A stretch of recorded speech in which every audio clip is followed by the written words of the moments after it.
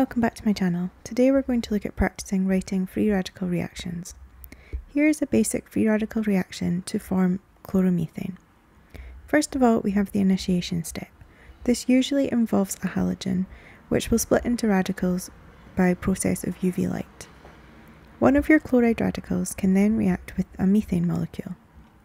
This chloride radical will react with a hydrogen to form HCl.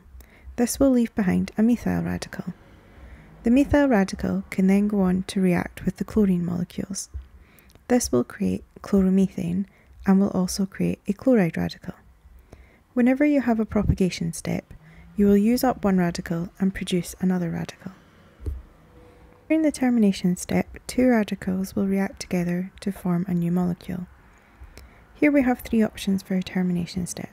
Two chloride radicals can react to form a chlorine molecule, a methyl radical can react with another methyl radical to create ethane, or a methyl radical can react with a chloride radical to produce chloromethane. This means that during free radical reactions, you get a large mixture of products. Pause the video now and try this question.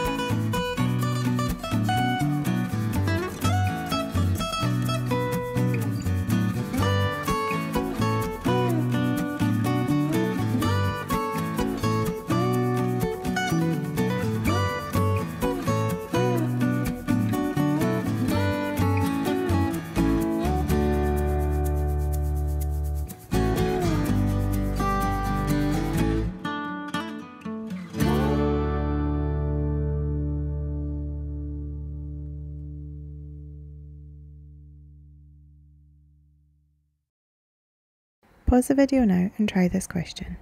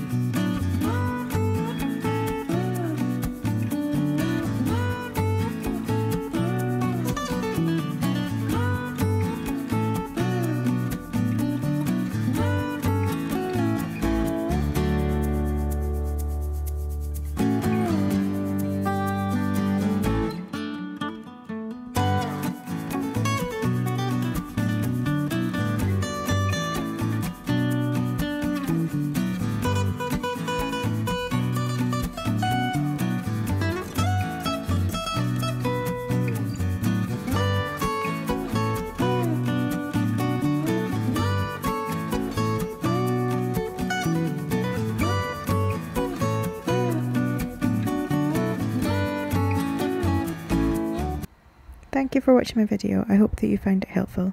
Please remember to subscribe and ring the bell to be notified of new videos. Bye for now.